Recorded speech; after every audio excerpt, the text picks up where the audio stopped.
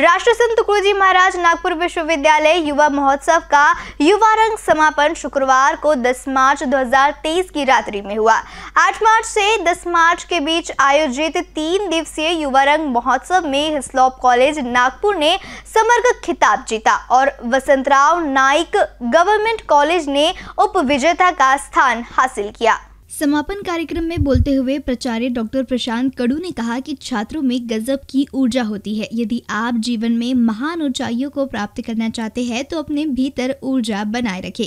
युवा महोत्सव में भाग लेने वाले विद्यार्थियों ने अपने जीवन का लक्ष्य निर्धारित किया है। अपने आप ने अपनी ऊर्जा के साथ कला को प्रस्तुत किया है। दिल से सोचने वाले ही कलाकार बनते हैं। इसी के साथ ही डॉक्टर कड़ू ने कहा कि हम कला के माध्यम से विदर्भ की सांस्कृतिक विरासत को भी सहेज कर रख रहे हैं। समापन कार्यक्रम की अध्यक्षता interdisciplinary studies faculty doctor Prashant Kadu ने की। कार्यक्रम में मुख्य अतिथि के रूप में छात्र कल्याण निदेशक डॉक्टर अरुण पाटिल उपस्थित रहे। परिचय देते हुए निदेशक छात्र कल्याण डॉक्टर मंगेश पाठक द्वारा कहा गया कि छात्रों की भागीदारी से यह महोत्सव सफल रहा है और इससे सांस्कृतिक क्षेत्र का विकास हो रहा है। उन्होंने सभी का आभार भी व्यक्त किया।